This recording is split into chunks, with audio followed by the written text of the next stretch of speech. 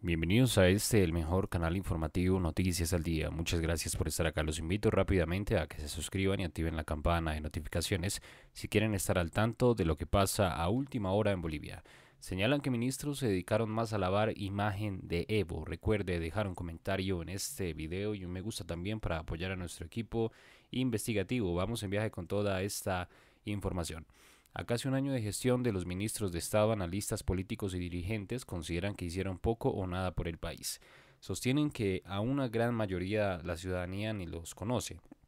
Y los que sobresalen son aquellos que atentan contra los derechos humanos y los que pretenden lavarle la cara a Evo Morales.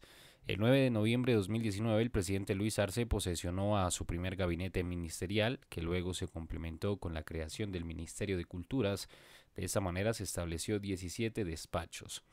Según los entrevistados, los titulares de las diferentes carteras ministeriales se constituyeron en fuentes de transmisión del movimiento al socialismo, ya que repitieron sobre el presunto golpe de Estado y la reactivación económica además de la acción autoritaria que desempeña el Ejecutivo con el brazo operativo de la justicia y la Asamblea Legislativa Plurinacional.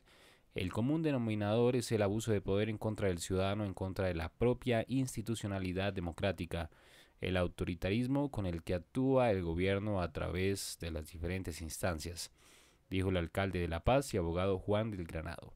Agregó que el autoritarismo se impone, el ejercicio de la autoridad rebasa los límites de la constitución política del Estado y afecta a los derechos de la gente. Hemos tenido auto, autoritarismo visible en estos 11 y casi 12 meses de gobierno.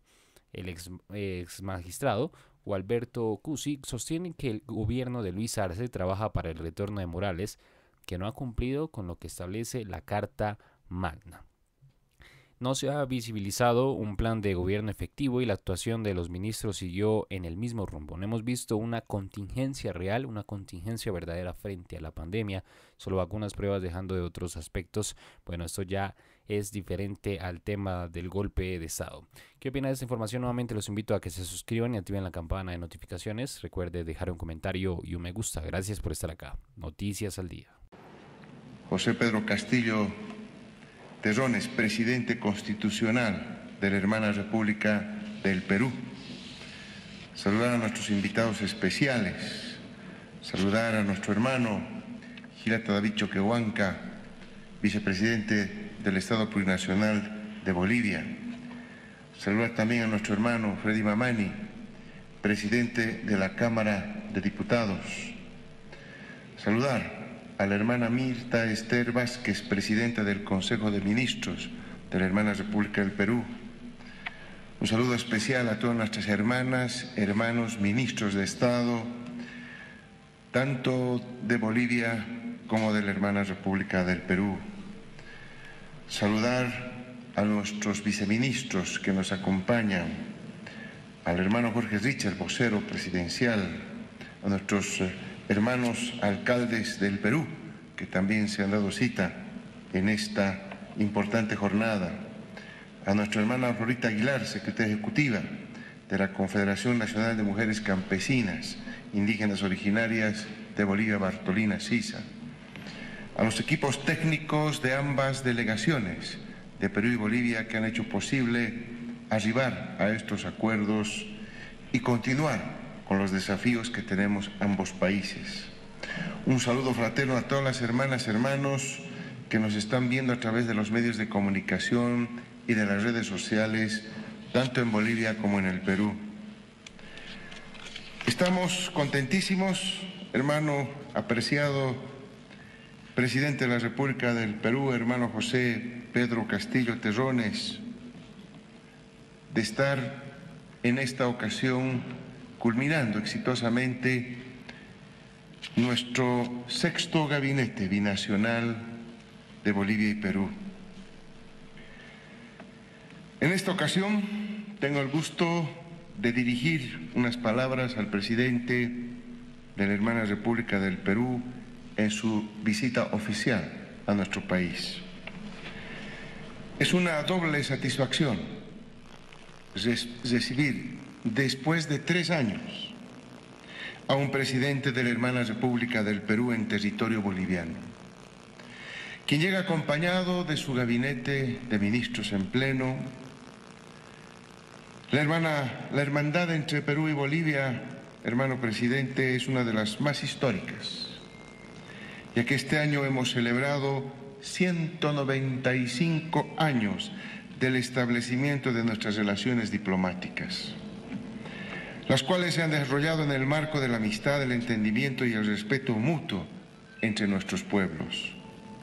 La extensa vecindad geográfica constituye uno de los componentes más importantes de nuestra política exterior, enriquecida por elementos que hacen a la integración física, energética y fronteriza. Pensar en Perú es conectarnos al Océano Pacífico, es proyectar y ampliar nuestro comercio por el puerto de Hilo, es trabajar juntos en las comunicaciones de quinta generación. Hermano Pedro, estamos muy esperanzados en desarrollar mecanismos que faciliten el tránsito fronterizo y el comercio. Requerimos ser innovadores en proyectos binacionales de infraestructura, cooperación en materia de salud y generación de espacios económicos ampliados. Sin duda podemos generar una amplia agenda, tal como se evidencia en el Plan de Acción 2021-2022 que acabamos de aprobar y que nos compromete a seguir profundizando el trabajo conjunto. Mi gobierno pone a su disposición y la de su gabinete ministerial, hermano presidente, toda nuestra disponibilidad y plena voluntad de continuar impulsando nuestras relaciones de fraterna amistad, la cual tiene profundas raíces compartidas entre nuestros pueblos indígenas, quienes son los protagonistas del cambio de sus propios modelos de desarrollo que se esfuerzan por construir un espacio donde prima la hermandad, la paz y la vida. Hermano Pedro, resaltamos el trabajo realizado a partir de su ascenso a la presidencia peruana, por impulsar el afianzamiento de las relaciones bilaterales entre Bolivia y Perú. Tenga por seguro que cuenta con el aprecio del pueblo boliviano y el gobierno de Bolivia para avanzar en la, vinculación recíproca entre nuestras dos naciones. Por tanto, en reconocimiento a su dinámica y destacada labor, a su amor por nuestro país, a su cariño al pueblo boliviano, en nombre del gobierno del Estado Plurinacional de Bolivia, me fue grato darle la condecoración de la Orden Nacional del Condo de los Andes en el grado de Gran Collar. Estamos seguros que esta su visita va a ser muy fructífera para profundizar y ahondar estas relaciones y sobre todo hechos concretos que vayan a favorecer a nuestra población en acciones, en políticas que nosotros, que esté en nuestras manos, hermano presidente Pedro Castillo, poder llevar adelante para satisfacer la enorme demanda de necesidades que tienen nuestros pueblos y aquí estamos para servir y continuar sirviendo hasta que sea momento de estrecharnos la mano en la calle como cualquier ciudadano. Muchísimas gracias y felicidades y muchas gracias por la visita. Escuchamos las palabras del presidente de Bolivia, Luis Arce.